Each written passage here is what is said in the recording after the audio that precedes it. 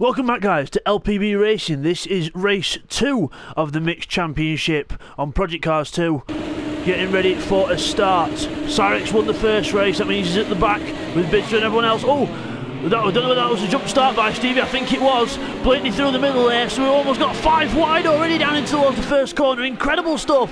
This is going to end up in tears. Surely contact between Blatantly and Jamo. Jen James Deluxe comes alongside. Blatantly leads into turn one. Jamo goes round, everyone else trying to jostle for position, bit of contact in the middle, but everyone else okay well. Jamo still alongside Blatantly, not giving up. Wants to have the bragging rights into the, into turn two, but gets it done. Blatantly in the lead. The Bidzster comes down. On the inside of Stevie, I think that was in the background. Let's have a look as we go through the outer loop section this time. So quick left, right. There we go. So Blatantly doing very well there. In the lead, Jamo in second. Bids to flashing his lights up, Footman saying, I'm coming to get you. As Cyrex making his way through the field as well. Trying to get through past Stevie there. He's got past Keith and a few others already. TY going backwards in that escort there. He's rejoined after disconnecting in the first one. You see there, look how he gets left behind on the straight by everything else. Amazing. But then look at this. The Mercedes power of Bidzster flying past Footman and then trying to get him James Deluxe as well, but doesn't, not manage to get James Deluxe. Tries to keep on the inside of Footman. Footman's still there, not giving up, but now the Mercedes power will get put down and he'll get the power on ahead of the next corner. Into the next corner we go. Beautiful stuff. And then we come down towards this next corner. Jammer having a little look at Blatantly there. No way through. Bidzster. Oh, very late on the brakes there. James Deluxe's next target. Trying to look for a way through past James Deluxe now. 15 laps of this one because it's a shorter, shorter circuit. Cyrex trying to go around the outside of Footman. Doesn't manage to get it done, but will the power of the Mercedes bring him alongside? If it doesn't here, it'll do it on the straight.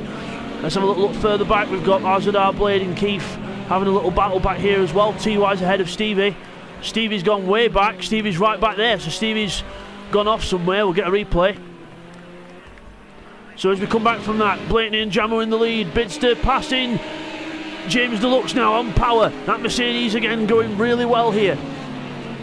Good car choice by Bidzster and Cyrex as we go through. the first turn He's now got Jamo in his sights. But behind we've got Keith and sorry, Cyrex and Footman close together as well. That's another one to keep an eye on. Footman defending to the corner.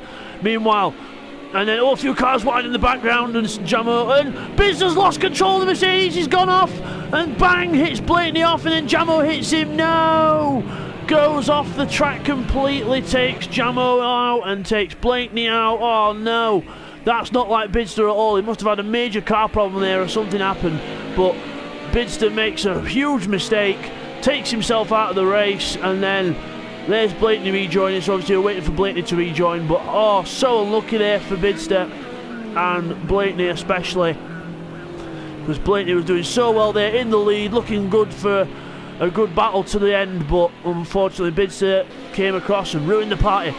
But uh, we'll get a replay on that. Okay, here's on board with Bidzster now on lap three for what happened at, at that uh, hairpin. So we're coming down to the hairpin onto the brakes. Busy too late on the brakes, tries to avoid everyone by going onto the grass, but then just can't stop the car. Hits Blatantly off. He couldn't have really gone, gone the other way because it wouldn't have worked. So unlucky there for Bidzster. Takes uh, Blatantly out, who was even more unlucky in that circumstance. He's waiting for Blatantly to rejoin, but Blatantly rejoins at the other side of the circuit on the grass. You'll see him there, and that's what caused Blatantly to go a lap down, unfortunately. But it, we don't, we don't, we're not going to count, we don't, we don't count it as a lap down because it wasn't really fair on him. Let's have a look at this now from Jamo's point of view. So we're into the hairpin, looking for his apex, a little bit wide. There's Bidzster, bang, and bang, completely rolls over, completely rolls over, and then he's stuck to the front of the car. And if we look here, he tries to rejoin, bang, into the other cars. That's caused a bit of damage for fuelers. And Jamo ends up getting going. So that was what happened from Jamo's point of view. Okay, now let's go on board with Blatantly himself into the corner. You'll see Bids around here somewhere. There he is, bang! We then roll over, nowhere to go. And then we rejoin just as two other cars are coming round. And that, and then we end up having to go the other way across the track, back onto the track there, and then that's what put Blatantly a lap down. So as we rejoin the action, and after that massive crash, TY up to fifth place now in the escort ahead of RZR Blade. Again, sliding that escort through the corners. It's really good through the corners, but on the straight, it's where it gets let down. Jamo, uh, sorry, James Deluxe in the lead again. Oh, Footman's off. Footman's off. He's going. Oh, he's, he's going down the other bit of the track now, so he's got to go round the round the that bit of the tyre wall, round the hairpin as he rejoins right into the path of TY. Got to be careful where you rejoin Footman, but. Uh, there, RZR Blade goes a bit wide there. He's left himself vulnerable if anyone's behind him, which they're not.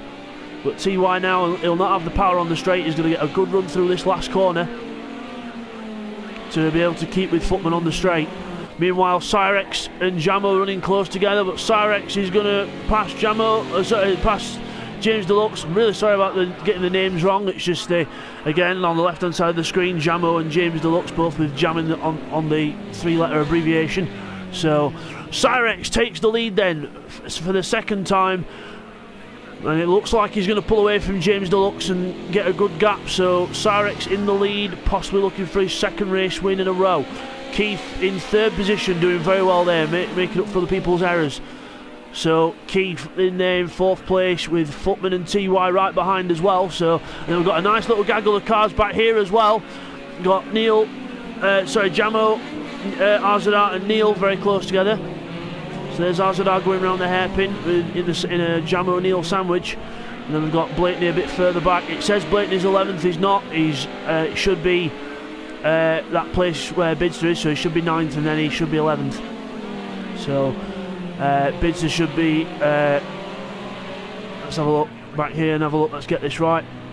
So yeah, uh, Blakeney should be 9th, Bidzster should be 10th, but Blakeney's been put down as 11th because he cut, because when Bidzster took him out, he had to rejoin on the grass. even though he lost loads of places because he cut the track technically, it's put him back a lap behind, which I don't agree with. But uh, it's uh, so wherever, uh, just got to keep an eye on the positions for Blakeney as they cross the line. But at the current moment, he is uh, he is ninth and Bidzster is tenth, as it, as it would stand. So here we are. Oh, more cars off in the background. RZR Blade with a very very sideways BMW there into the hairpin. Neil Farmack gets in front. Good stuff there. For, oh, we're having a little sneaky look at the inside of Neil. That's not, that's not going to work. As we go down towards the hairpin now, Keith and TY very close together there. TY trying to go around the outside of the escort, and he'll probably be able to do it in the escort. But again, gets a good gets a good run there. But then get the power on. Watch this. Keith just pulls away in the BMW. The escort left to a standstill on the straight. And you'll see Jamo start to close up now. He's going to have a look a look into the first corners past TY as well. But I'm not sure that's going to happen or not. No, it's not. TY again that Escort very good on the brakes and into the corners. If it was a much tighter track, that Escort would be doing very well indeed. It would probably be one of the best cars in its class. If it was a very tight track. But unfortunately, because it's an acceleration track, and oh, he's doing what uh, Escorts do best there, rally crossing. I think I saw Neil Farmack going wide in the background. I think he's. Uh, oh, there he is. He's gone round in circles. So Neil Farmack goes round there. Oh no! Neil Farmack goes round. We'll get a replay on that. Here's a replay of what happened to Neil Farmack on lap 7 into the fast left-hander. It's taps the curb, goes off, loses the back of the car, and then across it just in front of Bidzster. Oh, very close to avoiding there, and then that's where we saw him rejoining back in the circle, and then rejoins the track. And now here's on board with Bidzster Neil goes off to see him go off there, and then we have to whoa, avoid such a big car, but he gets it. So as we come back from that, Bidzster is now ahead of Blakeney without taking him off this time. So Blakeney back down to uh, what, what, what would be ninth place because Neil Farmack's gone backwards. So Blakeney, Blakeney ninth, to eighth. So I know it doesn't say that on the timing screen, but that's what it is on the in the actual race. Then we've got Jamo and TY very close together still with Keith just ahead. Jamo goes ahead on power. TY onto the brakes, very good on the brakes indeed, but Jamo covers it off very well indeed, not leaving any room for that Escort to exploit its cornering dif difference. It's very good on the corner in the Escort. As we go around this corner, you'll see here, be able to carry so much speed there is. And then doesn't doesn't go wide and start rally crossing this time and towards the hairpin. Jamo closing up on Keith. There he is, Keith, running a very solid fourth place at the moment. Footman just ahead, and he's got a bit of a train behind him now because RZR Blades got caught up to the back of this train. So four cars battling for fourth place. And then Bidzster will soon be joining them if they're not if they're not careful. As Keith goes into the last corner, runs a bit wide there. Jamo's going to get a good run out of that corner. We get his steering straightened up, but he's not alongside. He's got to fall, fall back in and go for the draft. There he is, Jamo. The black BMW, We're not running for Team Black, but just did a black one coincidentally. Liliam not here as Bidzster's teammate, and so is Seat 1 not here also. As we look at the other cars into the first corner, RZR Blade keeping the pressure on TY. TY mounts the curb, loses speed, but then Bidzster is alongside RZR Blade now. RZR Blade goes backwards after losing a bit of time, and then Bidzster goes through next target TY in the Escort. As they go down towards the hairpin, again that Escort looking very good in the corners. Again, it's just not the right track for it because it's just got so many acceleration zones. And RZR Blade there goes wide again, looking for the back of that Mercedes, but uh, looking from the wrong angle as come down towards the last corner. Look how much that Mercedes closes up to, to the Escort on the on the straight. We'll get we'll get a good power difference here. This is the difference that two that 180 horsepower makes. That goes past him like he's in a different class. Straight by, and then he's already almost catching up to Jamo. He's already built up about a second and a half already for TY in towards the first corner. But then obviously the escort will close up in the brakes. There it is. And Bidzster looking for his way through now past Jamo, who was also trying to attack Keith. Don't forget. So so Keith got to try and keep these two cars behind now. As Jamo has a look into the hairpin, just moves out, just positions the car to the inside. Keith looks in his mirrors, but no, you can see that he can turn in. Plenty of room to do that as he goes round the hairpin. Bidzster in the middle of this, and that's so Mercedes throwing it sideways, trying to get the power on as early as possible. That not handling very well that Mercedes by any means, but it's fast. Sideways into the last corner as well. Jamo is about to get eaten by a Mercedes here onto the straight. But again, Jamo gets a very good run onto the straight, but it's not enough. Here comes Bidzster. Powering past Jamo.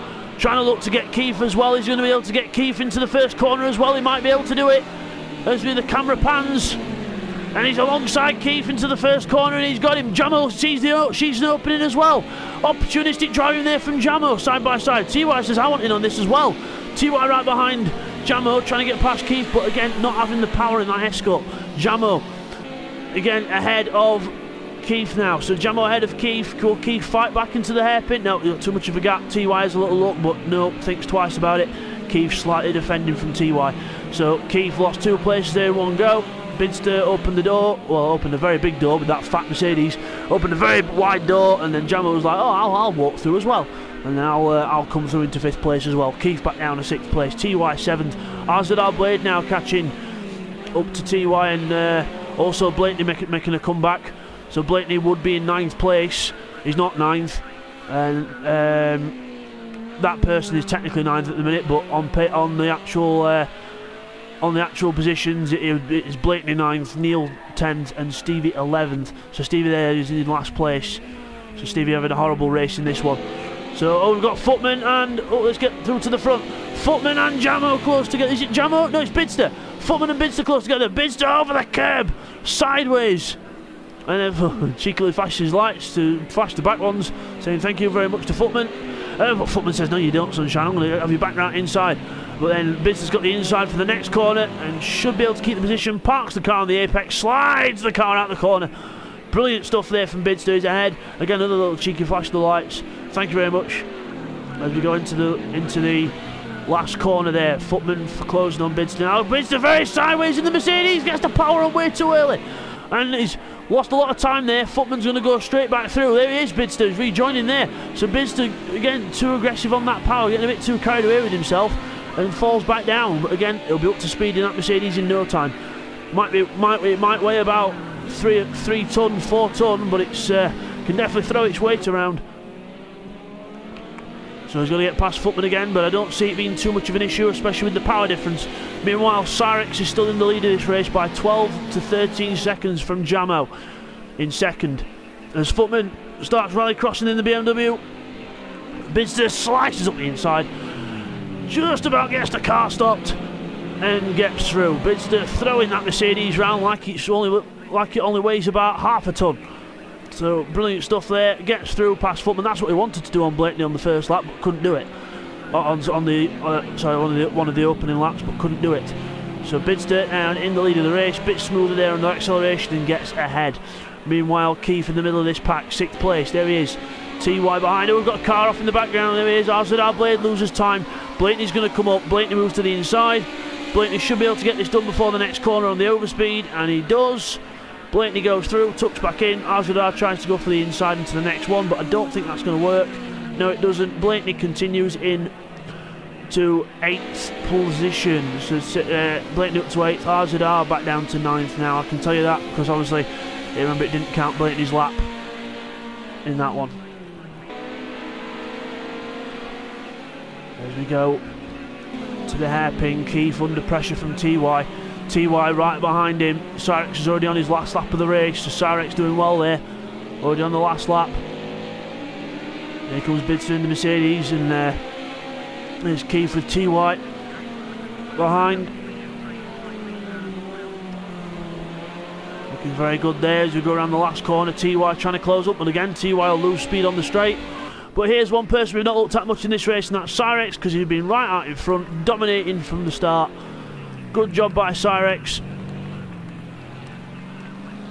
So ever since that incident, managed to get through to the lead on about like four or five, and then more or less led a good uh, two thirds of this race. So Cyrex coming up to the last corner now.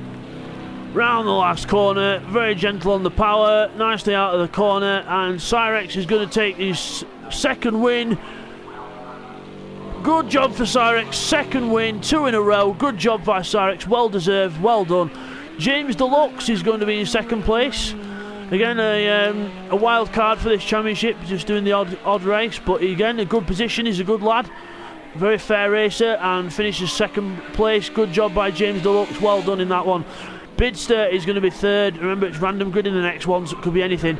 Bidzster in third place there. Well done to Bidzster, even though he had a bit of a horrible start to that one, should we say.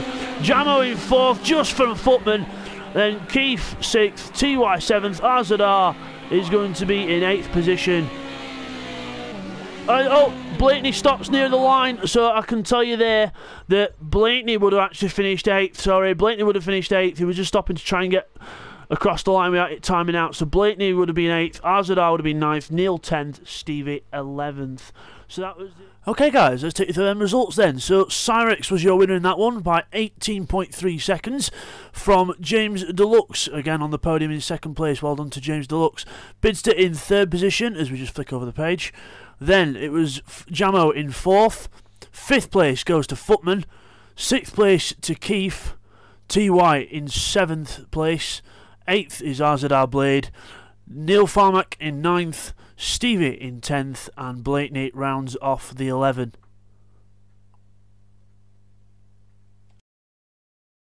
So that was the results from that. And there is your winner, Cyrex in the Mercedes. Well done to Cyrex. Two wins in a row, and we'll see you guys for race three. Take care.